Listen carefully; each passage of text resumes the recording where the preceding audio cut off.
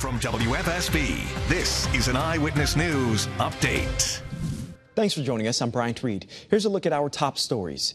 We head to Hartford, where a toddler is fighting for his life in the hospital after falling out of a third story window. Sadly, police say he's not expected to survive.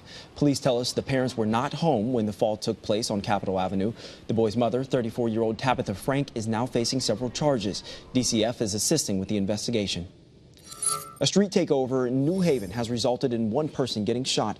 Police say early this morning a person walked into the hospital with a gunshot wound. The victim told police a fight broke out at the street racing event. Then a man pulled out his gun and fired in the middle of the road. Police say they have not found any evidence so far that a gun was fired. They are now asking anyone with information to contact New Haven police.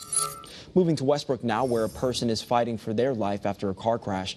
This happened on Grove Beach on this happened on Grove Beach Road. Police say two drivers were going in opposite directions when they collided, and that crash is currently under investigation. Now back to Hartford, and police there say they've managed to arrest 48 people and recover a number of drugs and firearms thanks to a week long operation in parts of the city that have had uh, recent incidents of violence. Take a look now.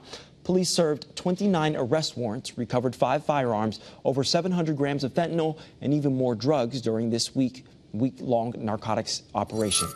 And police in Litchfield are asking for help identifying a wanted, per, a wanted man for thefts at CVS. Take a look at your screen. Police say this man stole numerous over-the-counter drugs from the CVS on West Street last Wednesday. Police say the suspect is approximately 5 feet 10 inches tall with two long dark braids. Anyone who recognizes him or has any information should give police a call.